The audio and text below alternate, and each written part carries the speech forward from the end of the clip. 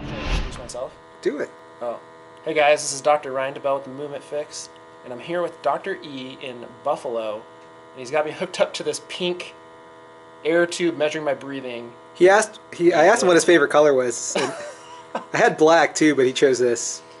Yeah, chose the pink. So uh, Dr. DeBell is hooked up to a Capnotrainer. So that would be this device right here.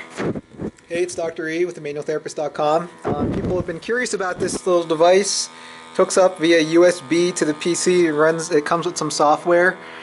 So what we're looking at is just uh, Dr. DeBell's resting, um, like his tidal volume and aver- the average um, CO2 output should be between 35 and 45 so actually he's pretty good at this point. Uh, you are. It's not bad. It's not bad for lying down on your back. Well all this stuff is state context dependent. The reason why I hooked him up is because I wanted not only did uh, he have chronic low back pain but he also told me earlier that the more he sleeps, the more tired he is. And he just, even before I actually met him, he was so tired he was napping in the parking lot before I got here. Oh, my flight was canceled. Right. But uh, the more you sleep, the more tired you are. It's not exactly, it's not exactly normal. He says he's just tired and he just, he sleeps, he sleeps so much he's just more tired. So I wanted to see if he was overbreathing. Overbreath. rough. Overbreathing is very common, but he is actually not overbreathing. He's he's doing pretty well. Um, again, it could be state context dependent. I would have to see: is he more tired in the car? Is he more tired in a sitting position? Is he more tired, you know, when he's in his practice? Um, this is just measuring, you know, measuring lying supine. He's pretty good. Gosh, you know what? It is in the car. Is in the car? It, it may be when I'm driving. It's well. That's that's when I. That's, that's when yours was too, right? It was when I was driving, and now when I do when I do shallow breaths, if you can mimic how you're breathing right now, because I, I can I can even feel it. Anytime I even get the slightest hint of fatigue in the car, mm-hmm. I'm breathing like how I sleep. It's very slow and rhythmic. It's like all white noise and it's just brainless, right? A car is like this automatic thing. We we you, you drive to work. There's very little thought to it, right? And then and when I get into my breathing pattern that raises my CO2 to between 35 and, and 45, I am hyper alert. Just try that. Try. I'll have you drive me to, to the restaurant later and see what happens. So, so basically, yeah, this was it. this- Nothing. this yeah, I'm wearing this. this Yeah. Well, hey, I can just put this. I drive around with this and see what happens. Yeah. No, you're doing pretty well. Let's try flexion because before you were Flexion intolerant. flexion intolerant. So it's gonna Like, make sure we don't drop to this thing. chest Or stand and bend. Standing, standing, bend forward. Let's see what. forward. Hopefully this stays on. Yeah, it should stay on. And just hang out here. Yeah. I mean, you're okay with that, right? Yeah. Okay.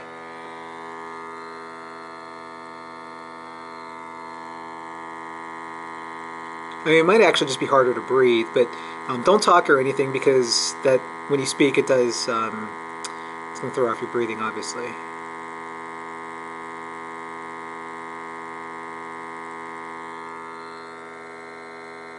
So his average for the last 20 seconds, and that, that had to do when he was speaking. Yeah, it, just shot right back up to above 35 again. So you are a good breather. Flexion is not an issue. I thought it might pop up in flexion. All right, you can go ahead and lie back on the table because your average is pretty good. Go ahead and lie back down. Now your um, your breaths per minute are uh, pretty good. About you know it's 11. Um, in order to get mine above 35, and actually I, I get to 40 like this, which is pretty good. I had to breathe at 22 breaths a minute. So did you want to increase yours, I no, I just or you were that- breathing too fast and that was the problem? I was breathing too slow. I was breathing deeper So and was- too slow. Was your CO two too low or too high? It's too low. It's usually too low. People are, hypocapnia is normally the problem Okay. because so- people are over breathing. Gotcha. Um, so it leads to you know increased pH, and that affects basically every single fluid in the body. So try to breathe. Just try to change your breathing rate. You know, because there there is a pattern of breathing that makes you tired, that basically seeps away your energy. So I can see that now your breaths per minute are faster.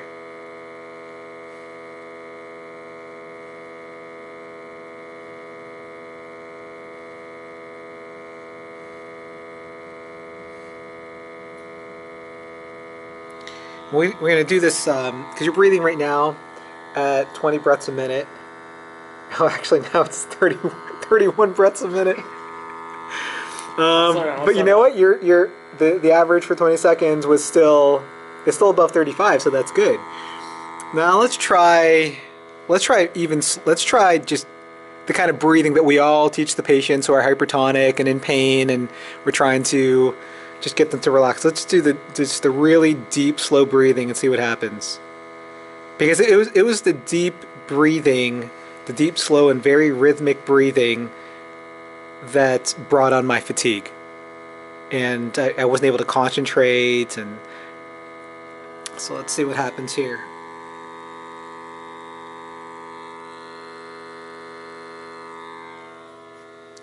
Some belly action going here. Oh yeah, train that.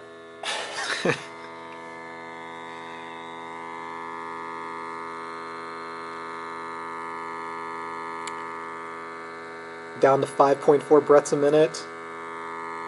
does kind of feel lightheaded. Does it? Yeah.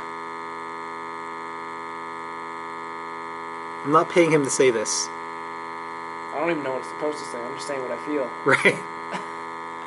what I'm trying to drive is a point. It's a slow, rhythmic breathing. Drop the CO2 now to 29. Ooh. How do you feel? I kind of feel dizzy Do you? a little bit. All right. So, you know, dizziness, headaches, fatigue, very, very common in hypocapnia. Now, just go up to your normal breathing rate again. So the point then is that, like we agree diaphragmatic breathing is good, Diaphragmatic breathing is good. just yes. not so deep and slow. Well, it depends. This is I had to breathe I had to breathe faster. You had you were fine with But you breathe faster. You're still using. You're still trying to breathe. Down. I'm still- yes. You're not up here. yes. I just wrote a blog you- post did about you it. Measure when you if you did chest breathing. No, I didn't. Oh, maybe we should do that. You, you can try chest breathing. Okay, I gotta think about it. How to do it wrong.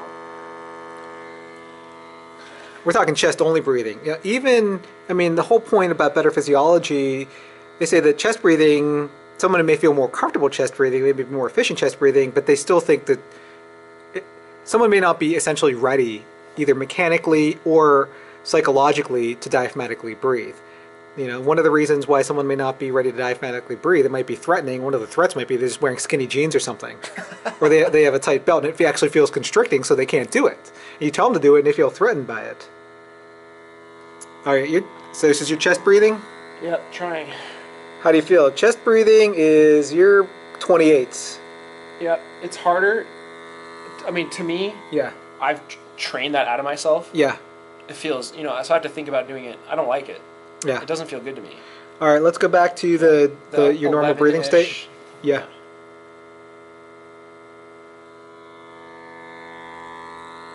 So again, this is individualized, and you know you just can't tell someone to breathe faster or slower. Uh, I had assumed when I first started using the Capnotrainer um, that everyone had to breathe more shallow and everyone had to breathe faster, like I did, but it's not true. Uh, someone like Dr. DeBell actually he was already breathing very well and at 11 12 breaths a minute i had to increase mine to 22 breaths a minute i've had some patients have to do a short inhale and a longer exhale uh, so basically take in less oxygen give off um, uh, and, and you know just maybe possibly decrease tone with the, with the longer exhale i haven't actually got into it i'm still dabbling because i haven't finished all the courses but it's very very interesting that diaphragmatic breathing, deep diaphragmatic, slow breathing, is not appropriate for everyone, especially if they're getting dizziness and headaches and unexplained, seemingly non mechanical symptoms. So, can you actually get back into this now? Because um, Where am I at? 30. Okay, so I need to go. Yeah. Trying. Well, your, you know, your breathing is still a little fast. Uh, when you were at 35 to 37, you were breathing at about 11 to 12 breaths a minute. You're at 15 now. I'm hyped up.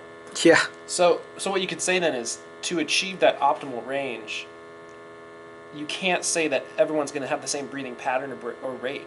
No. So, do, what do you think is the, the explanation for why, for example, I can breathe slower? And why I have to breathe? and Why I have to breathe faster? to achieve the same? I don't know. It might be the way that our bodies utilize, or how how efficient our physiology is in terms of. the blood, the blood, the transfer, the, the gas, Right. gas exchange. I'm older than you. I don't know. That's interesting though because we we always want to give everybody the same. Like, Right. There's this one right way to breathe in terms of this deeply or this you know frequently, right. and that might not be right. Exactly. I mean, I, I've been likening it to it's like, hey, everyone should take antibiotics, or everyone needs to do lumbar extension, Yeah, I mean, every, yeah, you, you can't. or everyone needs stabilization, and it's not true. I mean, That's why just you test. That's why you do the test. right. And this is why this is why I bought this thing to give me an objective measure because before I had, I could only guess, and my guess was, hey, you need to deep abdominal breathing, and certainly, you know, there are reasons to do abdominal breathing. I mean, there, the more you exhale, it does autonomically reduce tone, and and that could help with with people with you know high tone, and it can certainly help relax people. Um, but if they are if they continue to have persistent headaches, dizziness, paresthesia, again, all these things are very common. Just chronic diffuse pain, muscle soreness, achiness, you know, all these diffuse, unexplained complaints. They, they very well may be overbreathing, but you don't know what their rate or, or how they should breathe is until you until you play around. And certainly you can just without a Capnotrainer, you're not going to have an objective measure and try different breathing rates. You probably stumble stumble upon it. But uh, this also gives the patient visual feedback, and I didn't have Dr. DeBell actually looking at this, but I normally have my patients actually look at it to see, and you can actually there's a target for you to achieve, and this is this is visual feedback here, so you can Oh, see. like graph on there and everything. Well, it's a sine wave, so you need to get above the purple line. Above the purple line is 35. Okay? Oh, I have to breathe out more. So he wants to get above the purple line.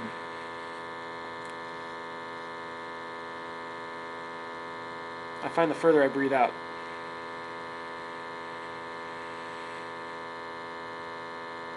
You, yeah, you're dropping now to below 11 again, so it's gonna it's gonna end up dropping. Your breathing was a little faster than that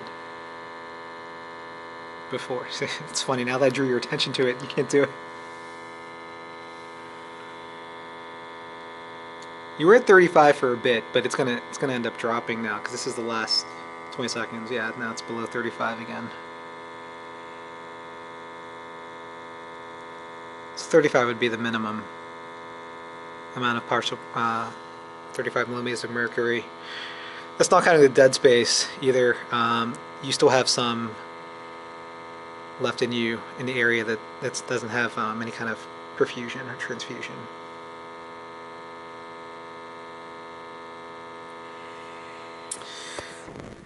So we're not gonna go. Well, I'll probably have them hooked up for maybe maybe five more minutes or so, but I'm not going to film the whole thing. I want them to be able to. I want them to be able to maintain that again. So this is just a demonstration, guys. The more I kind of, you know, mess around with this, then um, I'll post more videos. And I'm not quite through. I'm halfway through all the courses to get certified in the use of this, and I haven't even actually taken the Capnotrainer specific courses. So once I do, I will uh, post more more cases and more videos. Thanks for watching.